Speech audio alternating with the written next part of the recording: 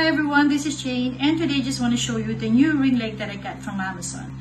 Uh, so why do I need ring light? Just because whenever I'm in a Zoom meeting or Teams meeting, I'm finding it hard to move around my uh, tablet so that I could get that perfect lighting. You know, no shadows and um, at least give me that extra beauty points, right? So I got the Victsing ring light of course your this is just a small ring light and it got a standard um, tripod stand just to show you what it looks like. So this is this one and of course it you can extend this one. And this one if you want more height you just push it in more right? Um, and uh, it comes with this selfie stick here this older version of selfie stick where you need to screw it in here to give more height. Of course you need to extend it more and this is where you screw in your ring light and you get your phone holder here. Um, it also comes with a remote shutter. Okay and for the ring light it has five settings.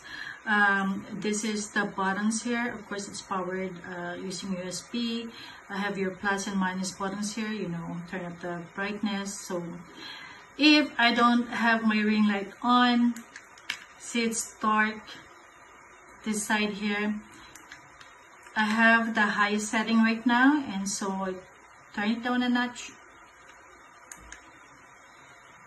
Still good.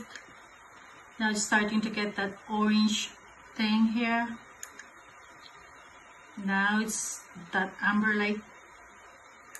And this is the lowest setting it's still okay, right? Compared to nothing. I'm happy with my purchase here. The ring light size is um, perfect for my working table. Uh, although the tripod, you think it has skinny legs, it's very sturdy. It's easy to move it around instead of you moving, me moving my tablet to find that perfect lighting. Uh, this one is easy, right? I could just pick it up and move it around and of course the five settings uh, helps too. Um, this one here I don't need this really but it will come in handy later on when you're doing your group photos. Um, yes so I hope uh, this video will help you in choosing the right uh, lighting for your Zoom or Teams meeting. Alright so have a good day everyone